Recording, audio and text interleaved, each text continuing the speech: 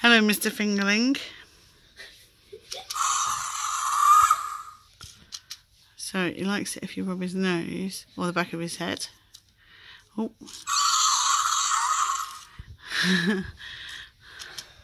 he is very cute. And there's his little eyes. Which blink.